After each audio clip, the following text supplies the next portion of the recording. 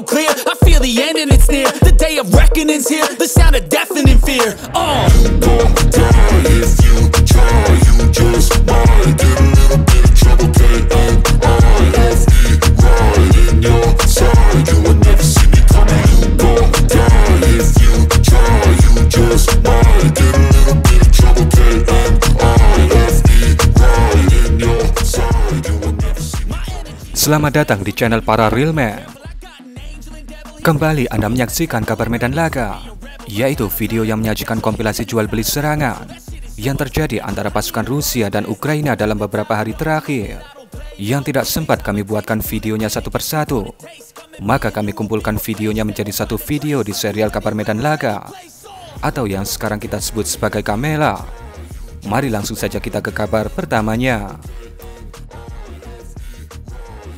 Sang penjebol beton dan penghancur rumah kembali beraksi. Ini adalah sudut pandang rudal Elmur yang diluncurkan dari helikopter Mi-28, di mana dikatakan dia sedang menuju sebuah rumah yang dijadikan sebagai markas oleh sebuah grup FPP Ukraina di kota Storozheve di provinsi Donetsk. Tentu saja, kita tidak meragukan akurasi dan daya hancur dari rudal Elmur. Tapi sayangnya, dalam video ini, kita tidak diberikan sudut pandang dari drone intai ketika Elmur menghantam dan menghancurkan targetnya. Ini adalah pasukan Rusia, yang berarti parit itu adalah salah satu posisi pertahanan pasukan Rusia di lokasi itu. Kemudian lihatlah, pemandangan perang modern kembali ditunjukkan. Pasukan Ukraina mengirimkan sebuah drone darat pembawa ranjau TM62 untuk menuju ke pintu masuk parit pasukan Rusia tadi. Kemudian tentu saja, drone darat itu meledakkan dirinya. Walaupun hasil akhirnya masih tanda tanya, namun inovasi ini menjadi awal terbentuknya inovasi lanjutan yang mungkin akan lebih mengerikan.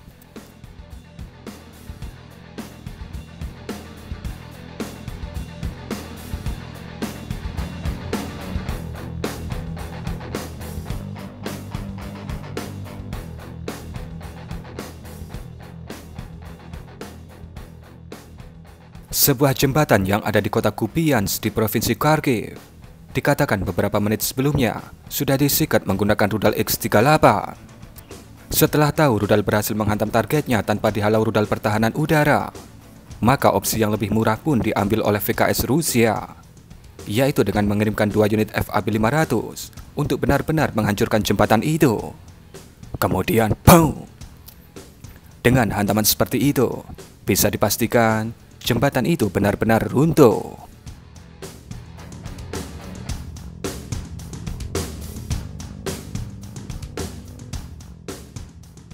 SPH Jumbo Rusia sekelas AHS Crab, yaitu 2S-19 MSTAS, berhasil terdeteksi oleh pasukan intai Ukraina.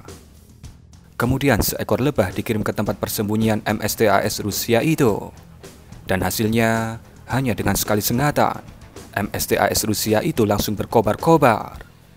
Lebah-lebah medan laga memang sungguh sangat berbahaya.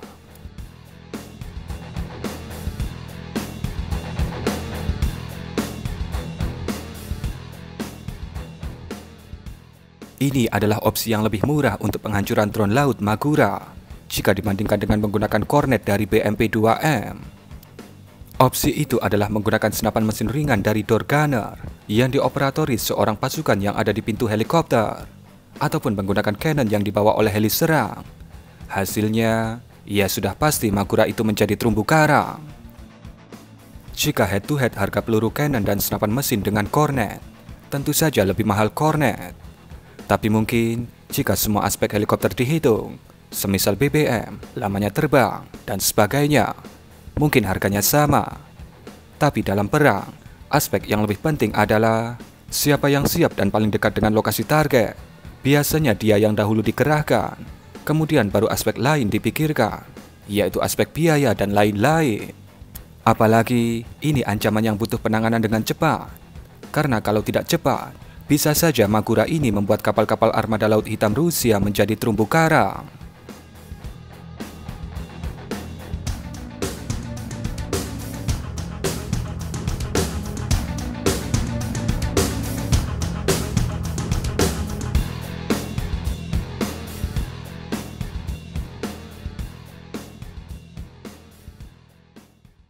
Ini adalah sebuah senjata tradisional Rusia, yaitu TOS 1A, yang dikatakan masih berisi full muatan dan sedang bersiaga di sekitar kota Vovchans.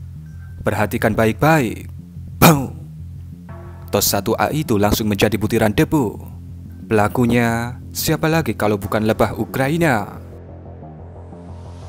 Ini adalah sebuah gorong-gorong jembatan yang dikatakan dijadikan sebagai markas oleh sebuah grup pasukan Ukraina. Lokasi dari gorong-gorong ini ada di Provinsi Dnipro. Kemudian pasukan Rusia mengirimkan sebutir FAB 1500 ke gorong-gorong itu. Tentu saja itu style khas Rusia, yaitu menyerang musuh dengan kekuatan barbar. Dan satu kekhasan Rusia lainnya pada video ini, di mana di awal video kita bisa melihat gorong-gorong dengan jelas dan terang benderang. Tapi ketika terjadi hantaman, kita diberi sudut pandang kamera termal yang merekam dari luar galaksi Bima Sakti.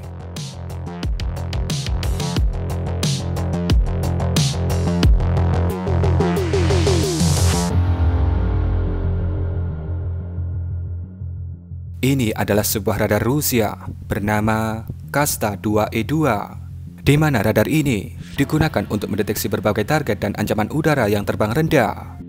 Kemudian lihatlah bagaimana RAM-2 menghantam radar kasta itu dengan presisi. Kemudian drone kamikaze RAM-2 kedua menghantam kendaraan komando dan genset dari sistem radar kasta itu. Dan tentunya itu sudah cukup untuk memensiunkan satu set radar kasta 2E2 itu selamanya. Di sekitar tepian sungai Dnipro di provinsi Kherson, dikatakan ada beberapa bangunan yang ditinggalkan oleh warga yang dijadikan sebagai markas oleh beberapa grup infanteri Ukraina. Kemudian bisa Anda lihat bagaimana Rusia menjawabnya. VKS menjatuhkan sekitar 6 unit FAB-500 di lokasi itu. Tentu saja, itu adalah serangan yang masif dan pastinya meninggalkan kerusakan yang signifikan.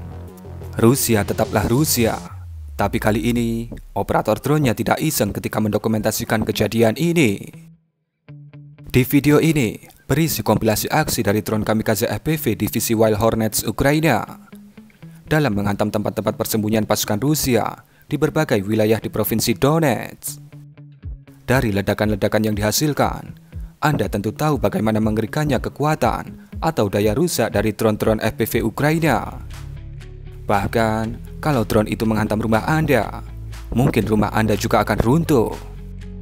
Alutsista baja tipis jika terkena ledakan sekuat itu, pastinya juga akan langsung menjadi api unggun.